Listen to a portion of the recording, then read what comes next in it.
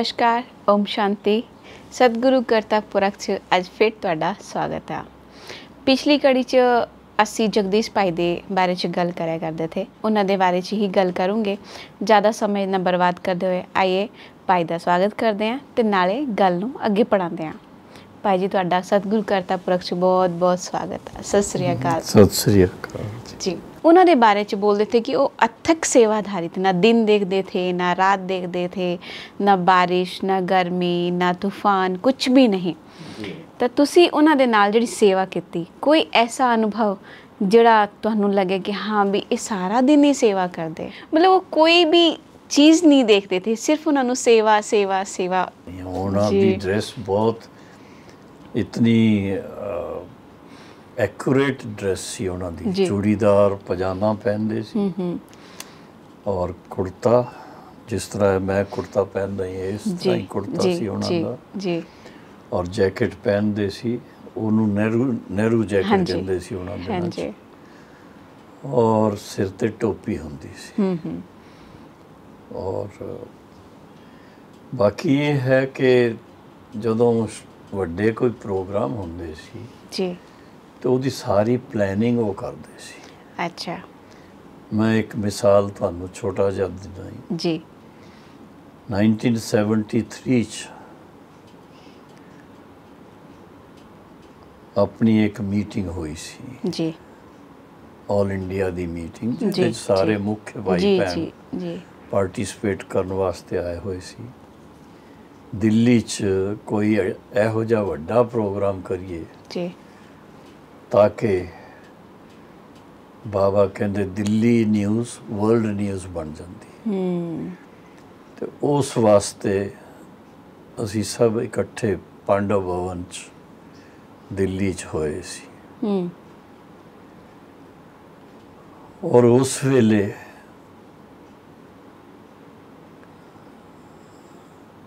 ਰਾਮਲੀਲਾ ਮੈਦਾਨ। ਜੀ।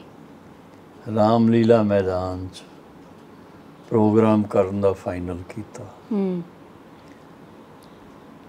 ਔਰ ਪ੍ਰੋਗਰਾਮ ਕੀ ਕਰਨਾ ਹੀ ਉਹ ਬੜਾ ਵੈਰਾਈਟੀ ਪ੍ਰੋਗਰਾਮ ਸੀ।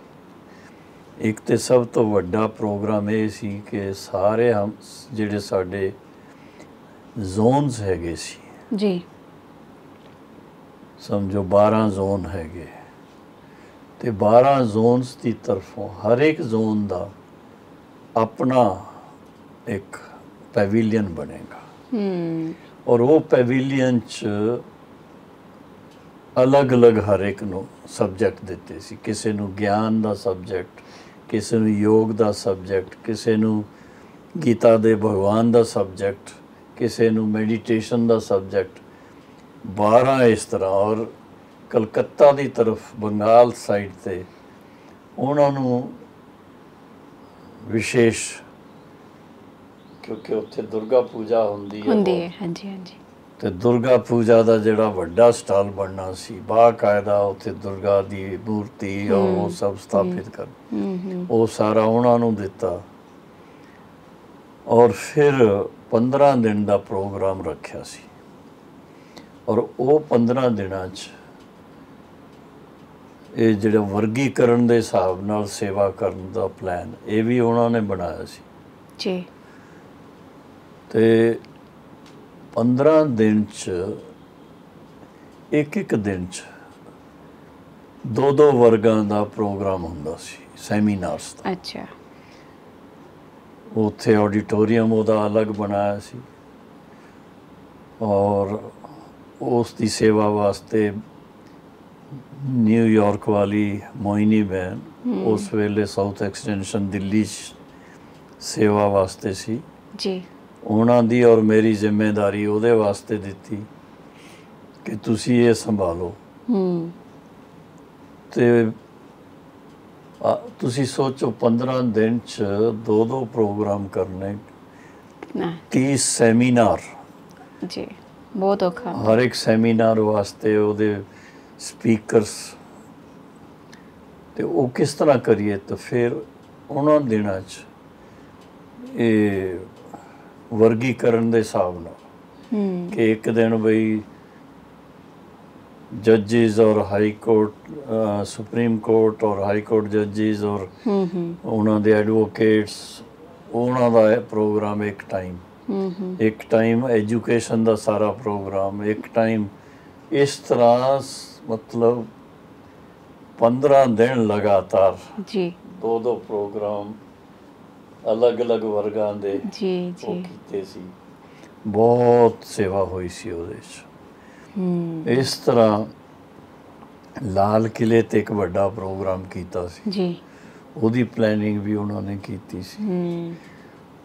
ਤੇ ਇਸ ਤਰ੍ਹਾਂ ਮਤਲਬ ਇੱਕ ਬਾਬਾ ਨੂੰ ਪ੍ਰਤੱਖ ਕਰਨ ਵਾਸਤੇ ਵੱਡੇ ਵੱਡੇ ਪ੍ਰੋਗਰਾਮ ਬਣਾਉਣੇ ਔਰ ਉਹ ਜੋ ਉਹਦੇ ਯੋਗ ਹੋ ਉਹਨਾਂ ਨੂੰ ਉਹ ਕਾਰੋਬਾਰ ਦੇ ਦੇਣੀ ਔਰ ਖੁਦ ਓਵਰਸੀ ਕਰਦੇ ਸੀ ਉੱਪਰੋਂ ਦੇਖਣਾ।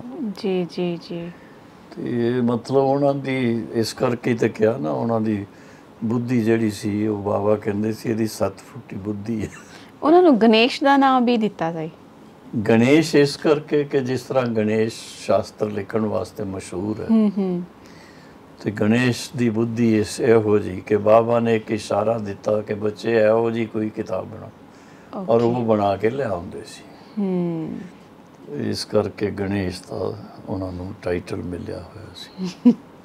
ਜੀ ਉਹਨਾਂ ਨੂੰ ਬਾਬਾ ਪਰ ਬਹੁਤ ਨਿਸ਼ਚੈ ਥਾ ਕਹਿੰਦੇ ਕਿ ਜੇ ਵੀ ਕੋਈ ਨਾਲ ਉਹਨਾਂ ਦੇ ਵਿਅਕਤੀ ਹੁੰਦਾ ਥਾ ਜਾਂ ਦਾਦੀਆਂ ਵੀ ਹੁੰਦੀ ਥੀ ਜਗਦੀਸ਼ ਭਾਈ ਇਹ ਕਿੱਦਾਂ ਹੋਣਾ? ਇਹ ਤਾਂ ਨਹੀਂ ਹੋ ਸਕਦਾ। ਕਿਆ ਕਰਕੇ ਉਹਨਾਂ ਨੂੰ ਵਿਸ਼ਵਾਸ ਹੁੰਦਾ ਥਾ? ਇਹ ਸੇਵਾ ਕਰਕੇ ਜਾਂ ਪਰਮਾਤਮਾ ਕਰਕੇ? ਮਤਲਬ ਸਮਝ ਨਹੀਂ ਆਈ ਇਹ ਗੱਲ। ਇਹ ਸਿੱਧੀ ਜੀ ਗੱਲ ਹੈ। ਬੜਾ ਸਾਰ। ਜੀ। ਇੰਦਰਾ ਗਾਂਧੀ ਸਟੇਡੀਅਮ ਸੀ। ਜੀ ਜੀ। ਹਾਂਜੀ ਉਹ 25000 ਲੋਕ ਬੈਠ ਸਕਦੇ ਉਹਦੇ ਹੂੰ। ਵਿੱਚ। ਤੇ ਉੱਪਰੋਂ ਕੋਈ ਛੱਤ ਨਹੀਂ ਸੀ ਟੁੱਟੀ। ਜੀ। ਦੇਖੋ ਲੇਕਿਨ ਸਟੇਜ ਜਿਹੜੀ ਚਾਹੀਦੀ ਸੀ ਪ੍ਰੈਜ਼ੀਡੈਂਟ ਦੇ ਹਿਸਾਬ ਹੂੰ ਨਾਲ। ਹੂੰ ਹੂੰ ਪ੍ਰੈਜ਼ੀਡੈਂਟ ਸ਼ੰਕਰ ਦਿਆਲ ਸ਼ਰਮਾ ਜੀ ਨੇ ਆਉਣਾ ਸੀ। ਜੀ।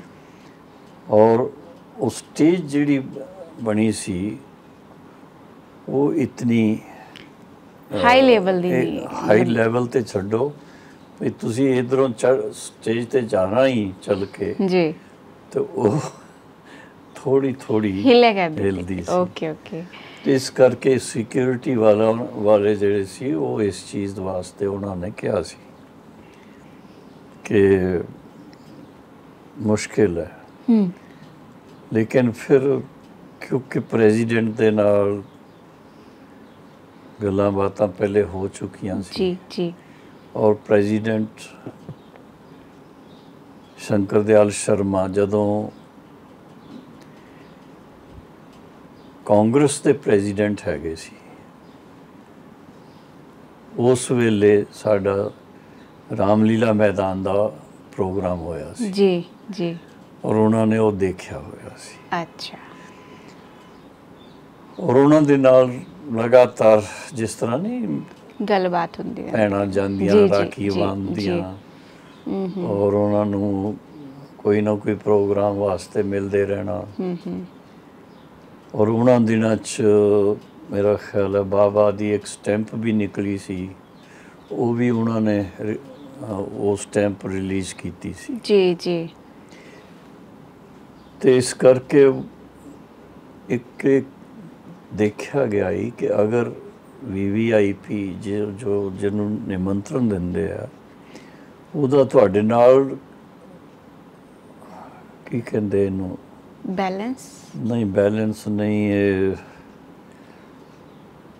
ਮਿਲਣਾ ਜੁਲਣਾ ਕਿਸ ਤਰ੍ਹਾਂ ਤਾਲਮੇਲ ਹੈਗਾ, ਕਿਸ ਤਰ੍ਹਾਂ ਦਾ ਹੈ? ਤਾਲਮੇਲ। ਕਿਸ ਤਰ੍ਹਾਂ ਦਾ ਹੈ? ਤੇ ਉਹ ਉਹਦੇ ਤੇ ਬੜਾ ਡਿਪੈਂਡ ਕਰਦਾ ਅੱਛਾ ਤੇ ਇਸ ਕਰਕੇ ਔਰ ਵੈਸੇ ਵੀ ਸ਼ੰਕਰ ਦਿਆਲ ਸ਼ਰਮਾ ਜੀ ਬਹੁਤ ਬਹੁਤ ਹੀ ਭਲੇ ਆਦਮੀ ਸੀ ਹੂੰ प्रेसिडेंट होने करके भी लेकिन इतने अच्छा व्यक्ति एक ਬੜੀ ਰਿਸਪੈਕਟ ਬੜੀ ਬੜਾ ਪਿਆਰ ਸਭ ਹਰ ਤਰ੍ਹਾਂ ਦੀ। ਅੱਛਾ। ਔਰ ਗੱਲਬਾਤ ਚ ਵੀ ਬੜੀ ਸ਼ਾਲੀਨਤਾ ਨਾਲ ਗੱਲ ਕਰਨਗੇ। ਹੂੰ। ਔਰ ਕੁਝ ਹੋਰ ਵੀ ਗੱਲਾਂ ਹੈਗੀਆਂ ਜਿਸ ਕਰਕੇ ਉਹ ਸਾਡੇ ਜ਼ਿਆਦਾ ਸਮੀਪ ਗਏ ਸੀ। ਉਹ ਕਿਤੇ ਉਹਨਾਂ ਨੂੰ ਵਿਦੇਸ਼ ਯਾਤਰਾ ਤੇ ਜਾਣਾ ਪਿਆ ਸੀ। ਹੂੰ। ਜਾਣਾ ਪਿਆ ਮਨ ਜਾਂਦੇ ਨੇ ਸਰਕਾਰ ਦੀ ਤਰਫੋਂ। ਹੂੰ ਹੂੰ ਹੂੰ। ਆਪਣੀ ਉਹਨਾਂ ਦੀ ਸਰਕਾਰ ਹੁੰਦੀ ਐਜ਼ ਪ੍ਰੈਜ਼ੀਡੈਂਟ ਬਾਹਰ ਜਾਣ ਹੂੰ। ਔਰ ਜਿੱਥੇ ਜਾਣ ਉਹ ਇੱਕ ਮੁਸਲਿਮ ਕੰਟਰੀ ਸੀ। ਜੀ। ਹੁਣ ਉੱਥੇ ਖਾਣ ਪੀਣ ਚ। ਜੀ। ਤੇ ਉਹਨਾਂ ਵਾਸਤੇ ਫਿਰ ਜੋ ਮਤਲਬ ਧਿਆਨ ਰੱਖਣਾ ਪੈਂਦਾ। ਜੀ ਜੀ ਬਿਲਕੁਲ। ਇਸੇ ਤਰ੍ਹਾਂ ਹੀ ਸਾਊਥ ਅਮਰੀਕਾ ਚ ਗਏ ਸੀ ਉਹ। ਹੂੰ। ਟ੍ਰਿਨੀਡੈਡ ਵਗੈਰਾ। ਜੀ। ਉੱਥੇ ਵੀ ਆਪਣੀ ਸੈਂਟਰ ਹੈਗਾ ਸੀ। ਤੇ ਸੈਂਟਰ ਦੀ ਭੈਣਾਂ ਨੇ ਉਹਨਾਂ ਦਾ ਸਾਰਾ ਇੰਤਜ਼ਾਮ ਰੱਖਿਆ ਖਾਣ ਪੀਣ ਦਾ ਜਰਾ। ਤੇ ਇੱਕ ਮਤਲਬ ਇੱਕ ਜਿੰਨੀ ਸਮੀਪਤਾ ਜਿਹੜੀ ਹੁੰਦੀ ਹੈ ਨਾ ਉਹ। ਉਹਦੇ ਤੇ ਬੜਾ ਡਿਪੈਂਡ ਕਰਦਾ। ਜੀ ਜੀ। ਇਸ ਕਰਕੇ ਜਗਦੀਸ਼ ਭਾਈ ਜੀ ਨੂੰ ਉਹਨਾਂ ਗੱਲਾਂ ਦਾ ਸਭ ਪਤਾ ਸੀ। ਅੱਛਾ। ਔਰ ਉਹਨਾਂ ਦੇ ਨਾਲ ਮਿਲਦੇ ਜੁਲਦੇ ਰਹੇ ਨੇ। ਹੂੰ। ਤੇ ਉਹ ਜਾਣਦੇ ਸੀ ਕਿ ਭਈ ਇਹ ਮਾਮੂਲੀ ਜਿਹੀ ਗੱਲ ਵਾਸਤੇ ਸਿਕਿਉਰਿਟੀ ਵਾਲੇ ਭਾਵੇਂ ਕਹਿਣ ਲੇਕਿਨ ਉਹ ਜ਼ਰੂਰ ਆਉਣਗੇ। ਔਰ ਆਏ ਜਦੋਂ ਹੂੰ। ਉਹ ਉੱਪਰ ਚੜਦੇ ਚੜਦੇ ਥੋੜਾ ਖਿਆਲ ਵੀ ਲੋਕਾਂ ਨੂੰ ਚੱਲਿਆ ਹੋਇਆ ਹੋਵੇਗਾ। ਜੀ। ਲੇਕਿਨ ਉਹ ਬੜੇ ਆਰਾਮ ਨਾਲ ਆ ਕਰਕੇ ਬੈਠੇ ਪ੍ਰੋਗਰਾਮ ਹੋਇਆ ਬਹੁਤ ਸੋਹਣਾ ਕੋਈ ਇਹੋ ਜੀ ਗੱਲ ਨਹੀਂ ਹੋਈ। ਬਹੁਤ ਖੁਸ਼ੀ ਖੁਸ਼ੀ ਸਾਰਾ ਪ੍ਰੋਗਰਾਮ ਪੂਰਾ ਹੋਇਆ ਸੀ। ਹੂੰ। ਤੁਹਾਨੂੰ ਇੱਕ ਗੱਲ ਮੈਂ ਉਸ ਪ੍ਰੋਗਰਾਮ 'ਚ ਖੁਦ ਹੈਗਾ ਸੀ ਮੈਂ ਇਸ ਕਰਕੇ ਦੱਸ ਰਿਹਾ। ਅੱਛਾ। ਜੀ ਤਾਂ ਹੀ ਮੈਂ ਕੁਐਸਚਨ ਪੁੱਛਿਆ ਤਾਂ। ਤੁਹਾਨੂੰ ਇੱਕ ਇਹੜੀ ਕਿਹੜੀ ਵਿਸ਼ੇਸ਼ਤਾ ਹੈ ਜਿਹੜੀ ਉਹਨਾਂ ਦੇ ਅੰਦਰ ਨਜ਼ਰ ਆਂਦੀ ਬਹੁਤ ਸਾਰੀ ਤਾਂ ਹੈ ਹੀ ਇੱਕ ਵਿਸ਼ੇਸ਼ਤਾ ਕੀ ਹੈ?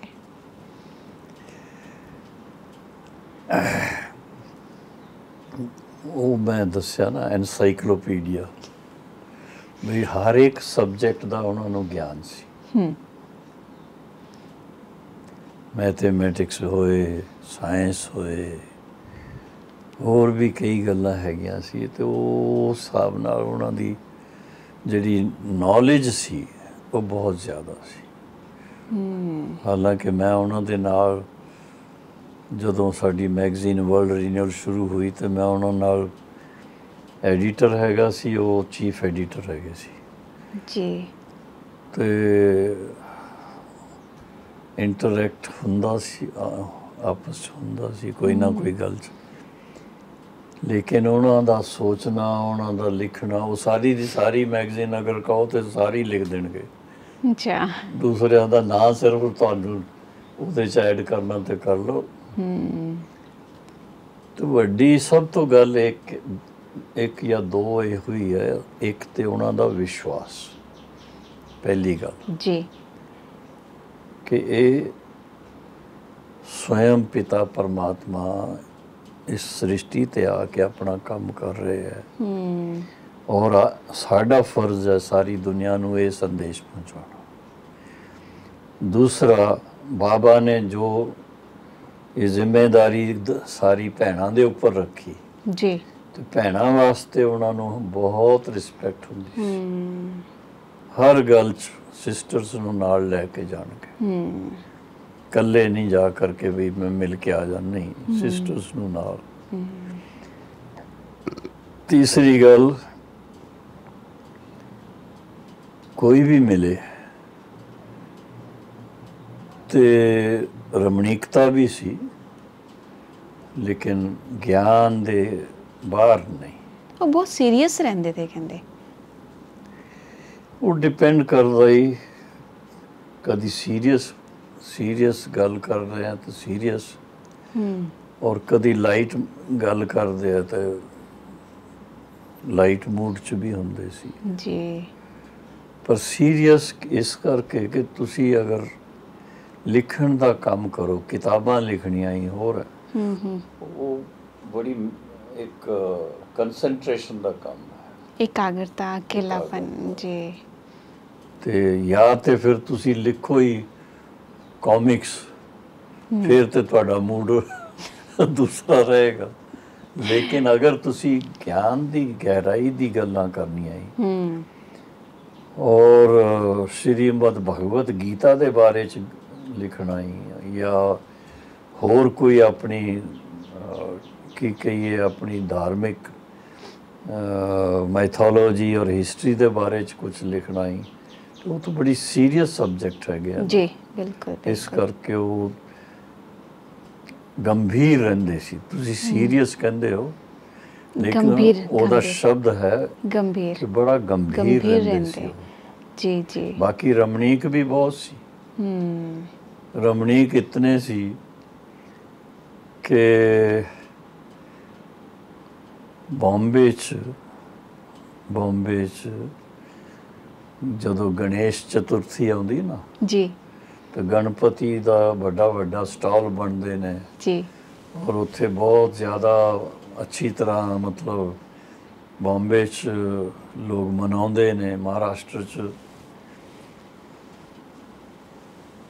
ਤੇ ਸ਼ੀਲਿੰਦਰਾ ਦਾਦੀ ਔਰ ਉਹਨਾਂ ਦੀ ਮਦਰ ਜੀ। ਕੁਈਨ ਮਦਰ ਉਹ ਖਾਸ ਜਗਦੀਸ਼ ਭਾਈ ਨੂੰ ਬੁਲਾਉਂਦੀ ਸੀ। ਅੱਛਾ। ਗਣੇਸ਼ ਜੀ ਕਹਿ ਕਰਕੇ। ਉਹਨਾਂ ਨੂੰ ਬੁਲਾ ਕੇ ਉਹ ਸਾਰੇ ਦਿਖਾਉਂਦੇ ਵੀ ਸੀ। ਹੂੰ ਹੂੰ। ਇੱਕ ਵਾਰ ਉਹ ਦਿਖਾਏ ਔਰ ਫਿਰ ਹਰ ਸਾਲ ਜਦੋਂ ਗਣੇਸ਼ ਚਤੁਰਥੀ ਆਏ ਤੇ ਬੂੰਦੀ ਦੇ ਲੱਡੂ ਬਣਾ ਕਰਕੇ ਉਹਨਾਂ ਨੂੰ ਭੇਜਦੇ ਸੀ ਜੀ ਅਹ ਤੇ ਇਹ ਤੇ ਰਮਣੀਕ ਗੱਲਾਂ ਹੈਗੀਆਂ ਥੋੜੀਆਂ अंत समय से उन्होंने शरीर बहुत खराब था फिर भी उन्होंने उस शरीर ना देख के सेवा की बोलते एक मीटिंग बुलाई शरीर खराब नहीं था तबीयत खराब थी। तबीयत भी खराब ऐसी कोई वो बात नहीं थी जो आप लोग समझते हैं हम्म हम्म बात ये थी कि उनका वो क्रिटिनल लेवल बढ़ गया हुआ था। जी। और दूसरा ये क्या नाम है? किडनी किडनी से ज़्यादा तो ये क्या नाम है? लीवर की प्रॉब्लम थी उस समय या किडनी की थी। मतलब डॉक्टर्स को दिल्ली से भी बुलाते थे बॉम्बे से भी बुलाते थे। वो अपनी तरफ से कोशिश करते थे लेकिन जब नहीं ठीक हो सकते थे तो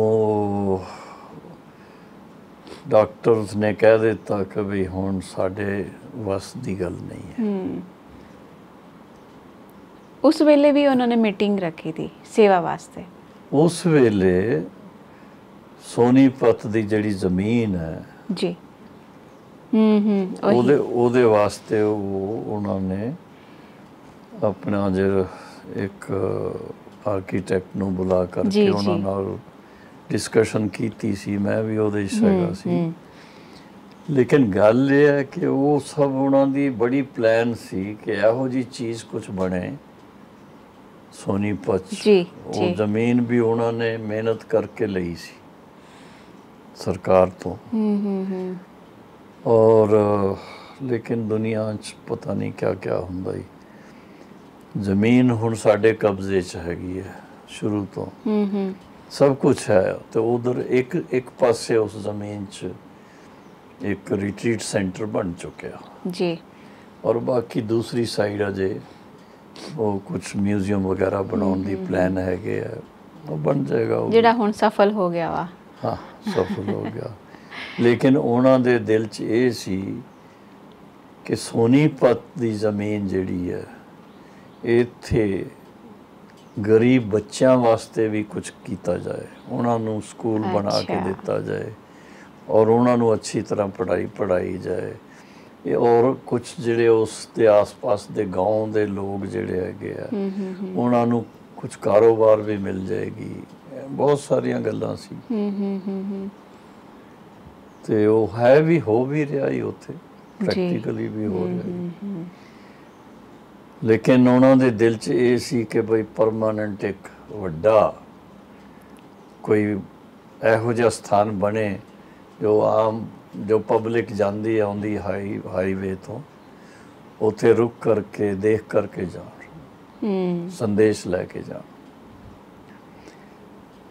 ਤੇ ਉਹ ਜ਼ਮੀਨ ਦਾ ਤਾਂ ਜਦੋਂ ਮਤਲਬ ਗਵਰਨਮੈਂਟ ਦੀਆਂ ਚੀਜ਼ਾਂ ਤੇ ਜਲਦੀ ਨਹੀਂ ਮਿਲਦੀਆਂ। ਜੀ ਜੀ ਤੇ ਉਹ ਜ਼ਮੀਨ ਦਾ ਜਦੋਂ ਫੈਸਲਾ ਹੋਣਾ ਸੀ ਉਸ ਤੋਂ ਪਹਿਲੇ ਫਿਰ ਓਮ ਸ਼ਾਂਤੀ ਰਿਟਰੀਟ ਸੈਂਟਰ ਵਾਲੀ ਜਿਹੜੀ ਜ਼ਮੀਨ ਹੈ ਉਹ ਫਿਰ ਫੈਸਲਾ ਹੋ ਗਿਆ ਸੀ ਔਰ ਉਹਦਾ ਬਾਕਾਇਦਾ ਸਾਰਾ ਪਲੈਨਿੰਗ ਕਰਕੇ ਉਹ ਬਣ ਵੀ ਗਈ ਔਰ ਫਿਰ ਪ੍ਰੈਜ਼ੀਡੈਂਟ ਅਬਦੁਲ ਕਲਾਮ ਜੀ ਨੇ ਉਹਦਾ ਉਦਘਾਟਨ ਵੀ ਕੀਤਾ ਉਹਦੇ ਚ ਵੀ ਜਗਦੀਸ਼ ਭਾਈ ਜੀ ਵਗੈਰਾ ਸੀ ਉਸ ਵੇਲੇ।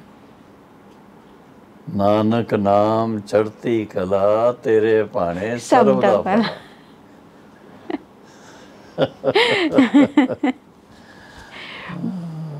ਜੀ। ਕਿਤੇ ਗੁਰਬਾਣੀ ਦੇ ਸ਼ਬਦ ਹੈਗੇ ਆ। ਹਮ ਤੇ ਅਸੀਂ ਗੁਰਬਾਣੀ ਦੇ ਸ਼ਬਦਾਂ ਨੂੰ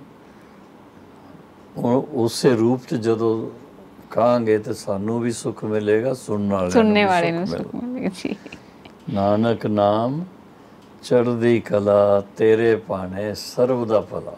ਜੀ। ਹੁਣ ਇਹਦਾ ਇਹਦਾ ਵਿਸਤਾਰ ਚ ਅਗਰ ਅਰਥ ਕਰ ਦੱਸਣਾ ਤੇ ਇਹ ਹੈ ਕਿ ਜਦੋਂ ਤੁਹਾਡੀ ਆਪਣੀ ਜੀਵਨ ਚ ਸ੍ਰੇਸ਼ਟਤਾ ਆਉਂਦੀ ਜਾਂਦੀ ਹੈ ਦੇਵੀ ਗੁਣ ਅੱਛੀ ਤਰ੍ਹਾਂ ਪ੍ਰੈਕਟੀਕਲ ਲਾਈਫ ਚ ਆ ਜਾਂਦੇ ਹੈ ਤੁਹਾਡੀ ਤੁਹਾਡਾ ਵਿਵਹਾਰ ਜਿਹੜਾ ਹੀ ਬੜਾ ਸ਼ਾਲੀਨਤਾ ਵਾਲਾ ਬਣ ਜਾਂਦਾ ਹੈ। ਜੀ। ਬੜਾ ਰਮਣੀਕ ਤੁਹਾਡੀ ਬੋਲਚਾਲ ਰਹਿੰਦੀ ਹੈ ਔਰ ਹਰ ਇੱਕ ਦੇ ਨਾਲ ਬੜੇ ਪਿਆਰ ਨਾਲ ਮਿਲਦੇ ਹੋ ਪਿਆਰ ਨਾਲ ਗੱਲ ਕਰਦੇ ਹੋ। ਤੇ ਫਿਰ ਲੋਕਾਂ ਨੂੰ ਅੱਛਾ ਲੱਗਦਾ। ਔਰ ਫਿਰ ਤੁਹਾਡੀ ਜੋ ਵੀ ਕੋਈ ਵਿਸ਼ੇਸ਼ਤਾ ਹੋਏਗੀ ਜਾਂ ਗਿਆਨ ਹੋਏਗਾ ਜਾਂ ਈਸ਼ਵਰੀ ਮਰਿਆਦਾ ਦੀ ਕੋਈ ਗੱਲ ਹੋਏਗੀ ਉਹ ਬੜੇ ਪਿਆਰ ਨਾਲ ਸੁਣਨਗੇ ਧਿਆਨ ਨਾਲ ਔਰ ਉਹਨੂੰ ਆਪਣੇ ਜੀਵਨ 'ਚ ਲਿਆਉਣ ਵਾਸਤੇ ਸੰਕਲਪ ਵੀ ਲੈ ਸਕਦੇ ਆ। ਤੇ ਬਹੁਤ ਵੱਡੀ ਸੇਵਾ ਹੈ ਉਹਦੇ 'ਚ। ਇਸ ਕਰਕੇ ਕਿਹਾ ਜਾਂਦਾ ਹੈ ਨਾਨਕ ਨਾਮ। ਨਾਮ ਮਾਨਾ ਪਰਮਾਤਮਾ ਦੀ ਯਾਦ। ਜੀ। ਵਾਹਿਗੁਰੂ ਦੀ ਯਾਦ ਹਾਂ ਸ਼ਿਵ ਬਾਬਾ ਦੀ ਯਾਦ ਜਿਹੜੀ ਹੈ। ਤੇ ਉਹ ਚੜ੍ਹਦੀ ਕਲਾ। ਉਸ ਯਾਦ ਨਾਲ ਦੇਖੋ ਕਿਤਨੇ ਫਾਇਦੇ ਹੁੰਦੇ ਆ। ਈਸ਼ਵਰੀ ਯਾਦ ਦੇ ਫਲਸਰੂਪ ਜੀ। ਆਤਮਾ ਪਾਵਨ ਬਣਦੀ ਹੈ। ਉਹਦੇ ਪੁਰਾਣੇ ਹਿਸਾਬ ਕਿਤਾਬ ਕਰਮਾਂ ਦਾ ਜਿਹੜਾ ਹਿਸਾਬ ਕਿਤਾਬ ਉਹ ਸਮਾਪਤ ਹੋ ਜਾਂਦਾ ਹੈ ਔਰ ਫਿਰ ਉਸ ਦੇ ਨਾਲ ਗਿਆਨ ਦੀ ਜਿਹੜੀ ਸ੍ਰੇਸ਼ਟ ਤੋਂ ਸ੍ਰੇਸ਼ਟ ਗਿਆਨ ਦੀਆਂ ਗੱਲਾਂ ਹੈ ਉਹ ਅੱਛੀ ਤਰ੍ਹਾਂ ਸਮਝ ਆ ਜਾਂਦੀਆਂ। ਨਹੀਂ ਤੇ ਅਸੀਂ ਦੇਖੋ, ਮੈਂ ਮਾਫ ਕਰਨਾ, ਕਿਸੇ ਦਾ ਕੋਈ ਉਹ ਨਹੀਂ ਮੈਂ ਕਰਨਾ ਚਾਹੁੰਦਾ। ਲੇਕਿਨ ਅਸੀਂ ਪੜ੍ਹਦੇ ਜ਼ਰੂਰ ਹਾਂ। ਜਿਸ ਤਰ੍ਹਾਂ